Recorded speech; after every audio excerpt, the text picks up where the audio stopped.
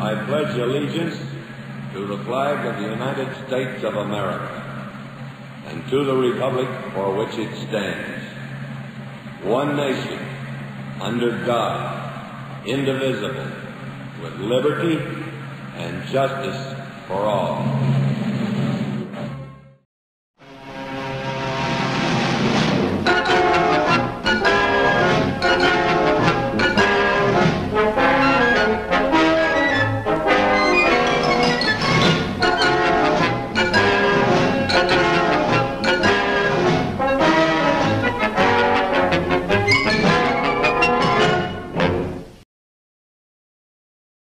Welcome back, Saguaro. I'm Eden Elrod, and here's your Saguaro News Network. The Afternoon School Library Learning Lab is now open. Please join the Library Resources Google Classroom for your graduating class to find the registration form to attend. Ask your English teacher or contact Mrs. O'Shea for the class code or invitation link.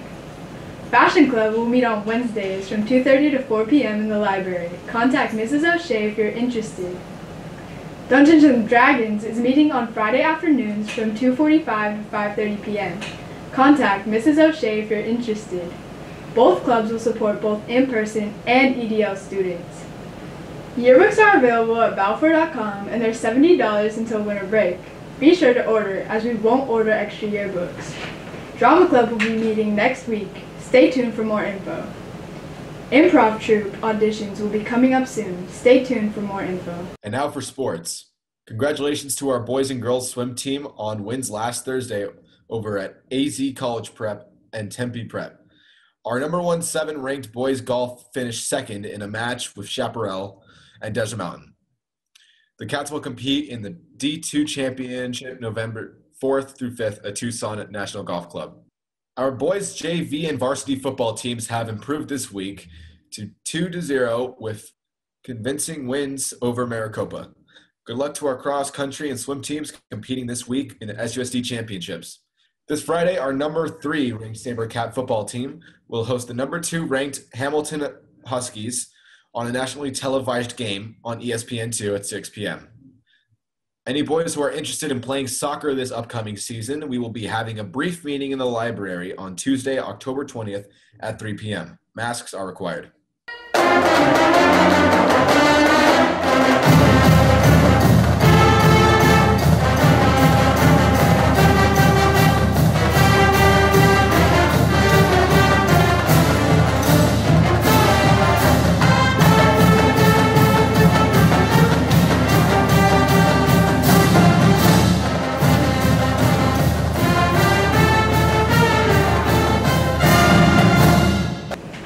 I'm Dante Johnson with your weekly weather report.